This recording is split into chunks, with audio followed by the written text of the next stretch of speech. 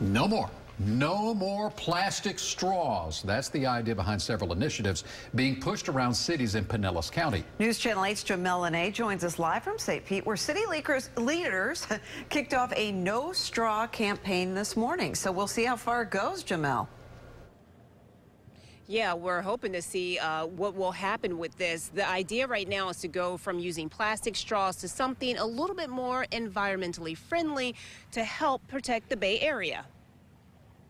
St. Pete restaurateur Robin King is hoping her efforts to stop using plastic straws will help the environment. I think when they just get their glass for the first time with no straw, they're taken back a little bit.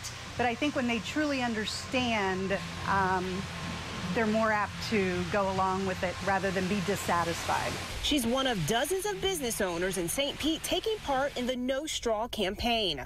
St. Pete city leaders kicked off the initiative this morning. Gulfport officials plan to discuss a ban next week. Other coastal cities have already made the switch. Treasure Island's Katiki Bar has been using paper straws for the last year and a half.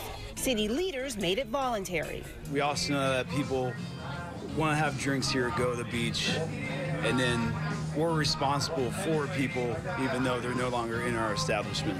Across the street, Caddy's on the beach were using paper straws but discovered it didn't work too well with frozen drinks.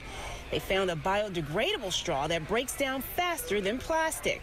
The only debate for business owners is the cost. The cost have gone up we estimate around 200%, but it's well worth it. It's well worth it when you think about how lucky we are to be where we're at and do business where we're at.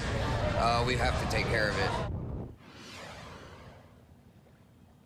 And St. Pete city leaders, their goal is to hopefully get all bar owners and restaurant owners using something other than plastic. They plan to discuss some options this Thursday at a meeting. In St. Pete, Jamel News Channel 8.